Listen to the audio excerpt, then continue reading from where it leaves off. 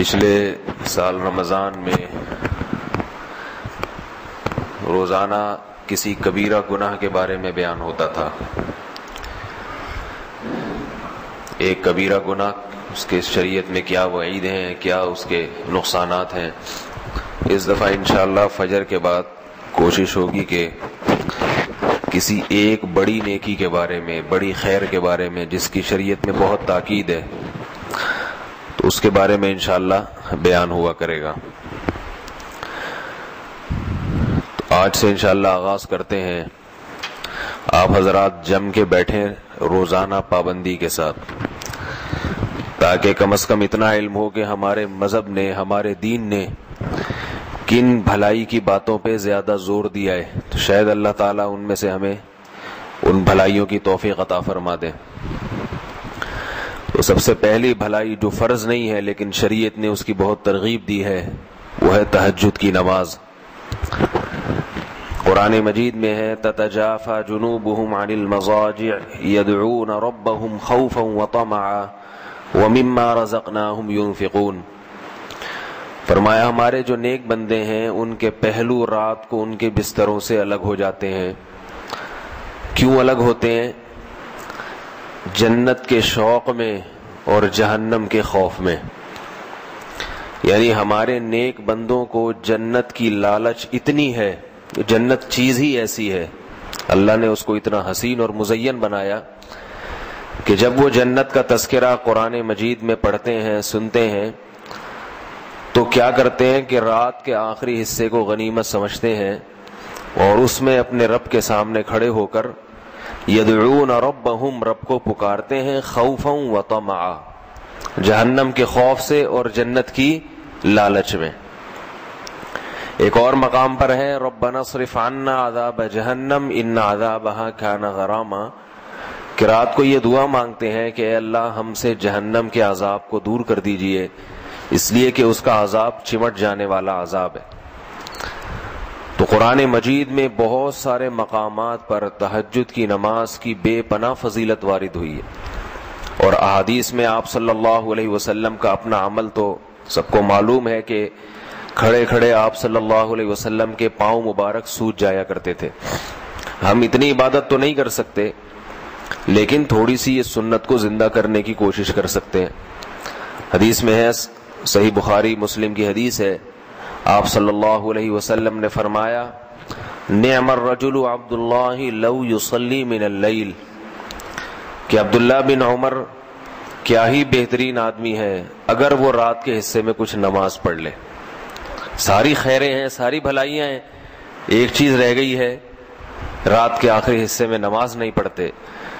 تو عبداللہ بن عمر کے بیٹے حضرت سالم فرماتے ہیں کہ یہ سننے کے بعد میرے والد نے، عبداللہ بن عمر نے کبھی تہجد میں ناغا نہیں کیا۔ اور بہت تھوڑا سوتے تھے، ہمیشہ پابندی سے رات کو تہجد پڑھتے تھے۔ ایک اور حدیث میں آتا ہے کہ آپ صلی اللہ علیہ وسلم نے ارشاد فرمایا، افضل الصیام بعد رمضان شہر اللہ المحرم و افضل الصلاۃ بعد الفریضتی صلاۃ اللیل۔ یہ سب سے بہترین مہینہ روزے کے لیے رمضان کے بعد محرم ہے اور سب سے بہترین نماز فرض نماز کے بعد رات کی نماز ہے۔ فرض کے بعد سب سے افضل ترین نماز۔ ایک اور حدیث میں ہے، رسول اللہ صلی اللہ علیہ وسلم نے فرمایا کہ حدیث کا مفہوم ہے کہ سب سے بہترین شخص اور سب سے بہترین گھرانہ وہ شخص ہے جو رات کے آخری حصے میں اٹھے اور اپنی بیوی کو بھی اٹھائے۔ بیوی نہ اٹھے تو اس کے پانی کے چھینٹے مارے۔ اور فرمایا، وہ عورت بھی سب سے بہترین کہ جو رات کے آخری حصے میں نماز کے لیے اٹھے اور اپنے شوہر کو بھی جگائے، نہ جاگے تو اس کے پانی کے چھینٹے مارے تاکہ اس کی آنکھ کھل جائے۔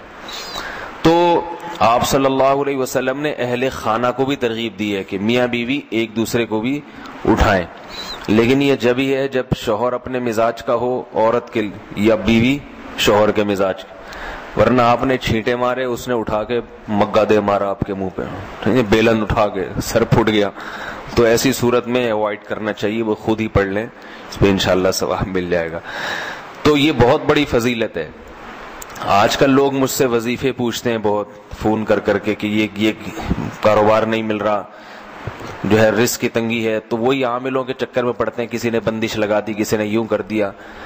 تو قرآن میں اللہ کیا فرماتے ہیں کہ اللہ جس کے لیے رحمت کا دروازہ کھولیں تو کوئی بند نہیں کر سکتا اور جس کے لیے اللہ دروازہ بند کر دیں تو کوئی کھول نہیں سکتا یہ تو بندش بندش سب ایسے ہی باتیں ہوتی ہیں تو اصل کرنا کیا چاہیے وظیفوں میں وقت برباد نہیں کرنا چاہیے یہ جو وظیفے بتانے والے ہوتے ہیں نا ان کے پاس کوئی دلیل نہیں ہوتی بس ایک ایک اندازہ ہوتا ہے کہ یہ کرنے سے یوں ہو جائے گا یہ کرنے سے ایک اندازے ہوتے ہیں تو لوگوں کے اندازوں پہ اور ان کے اٹکل پہ اپنے اپنی صلاحیتوں کو اپنے وقتوں کو کیوں برباد کر رہے ہیں؟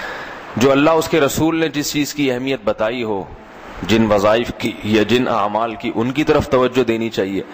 تو حدیث میں آتا ہے کہ رات کے آخری حصے میں اللہ آسمان دنیا کی طرف آتے ہیں اور فرماتے ہیں حلم مسترزقین اغفر حلم مسترزقین ارزق اللہ کوئی ہے مجھ سے رزق مانگنے والا جسے میں رزق دوں۔ تو اس وقت اٹھ کے اللہ سے روزی مانگنی چاہیے۔ اے اللہ، کاروبار نہیں ہے۔ گھر کے حالات دیکھ رہا ہے تو۔ نہیں ہو رہا پورا۔ تو میرے رزق میں برکت دے دے۔ تو بجائے ادھر ادھر اتنی دفعہ یہ پڑھو، اتنی دفعہ یہ پڑھو جس کی کوئی دلیل ہی نہیں ہے۔ تو اللہ کے نبی نے کیا فرمایا؟ اللہ آسمان دنیا پہ آ کے کہتے ہیں، کوئی ہے رس مانگنے والا؟ اور اللہ کہتے ہیں حل میں مستغفرین اغفر اللہ کوئی ہے مجھ سے گناہوں کی معافی مانگنے والا کہ میں اس کو معاف کر دوں؟ تو آخری حصے میں اللہ تعالیٰ خود مطالبہ کر رہے ہیں کہ کوئی ہے بھائی اٹھے، مانگے، میں دوں گا۔ تو ہم پڑے ہوئے سب سو رہے ہوتے ہیں اس میں۔ تو یہ بہت بڑی نیکی ہے، یہ بہت بڑی سنت ہے رات کے آخری حصے میں نماز پڑھنا۔ صحابہ تو بہت لمبی لمبی پڑھا کرتے تھے۔ تو اتنی ہم نہیں کر سکتے، تو تھوڑا سا کر لیں۔ علماء نے لکھا ہے کم سے کم دو رکتیں، یہ تحجد کی کم سے کم۔ زیادہ سے زیادہ آٹھ بھی ہو سکتی ہیں، عام معمول آپ صلی اللہ علیہ وسلم کا، اور اس سے بھی زیادہ ہو سکتی ہیں۔ لیکن وہ نہیں ہو سکتا تو دو رکتیں پڑھ لے انسان۔ اور حدیث میں آتا ہے کہ آپ صلی اللہ علیہ وسلم سے کبھی رات کی نماز رہ گئی تو پھر آپ دن میں پڑھ لیا کرتے تھے۔ تو یہ قضا تو نہیں ہوتی، نفل نمازوں کی قضا نہیں، صرف ایک معمول کا پابند رہے انسان۔ اس لیے آپ نے ترغیب دی ہے، رات کو رہ گئے تو دن میں آپ صلی اللہ علیہ وسلم نے بارہ رکتیں پڑھی ہیں۔ تو دن میں پڑھ لے انسان۔ اور اگر رات کے آخری حصے میں اٹھنا بہت مشکل ہے یا ناممکن ہے، تو آخری درجہ یہ ہے کہ عشاء کی نماز کے بعد وطر سے پہلے دو نفل پڑھ لے انسان۔ بلکہ اس سے بھی پہلے یہ کہ سونے سے پہلے پڑھ لے۔ اور اس سے بھی اگر اتنی بھی نہیں ہوتی کہ بھائی نہیں سونے سے پہلے پڑی تو میری تو نیند ہی اڑ جائے گی یا سستی ہوتی ہے۔ تو آخری درجہ کیا ہے؟ وطر سے پہلے دو نفل پڑھ لے۔ اس نیت سے کہ تھوڑا سا یعنی تحجد کی نیت سے پڑھ لے تاکہ وہ ثواب پورا نہ بھی ملے، تو کچھ انگلی کٹا کے ہی شہیدوں میں انسان نام لکھوا لے نا۔ یہ جو ہے کہا جاتا ہے نا، انگلی کٹا کے شہیدوں میں نام، تو یہ اسی لیے ہے کہ بہت سے لوگ انگلی ہی کٹاتے ہیں۔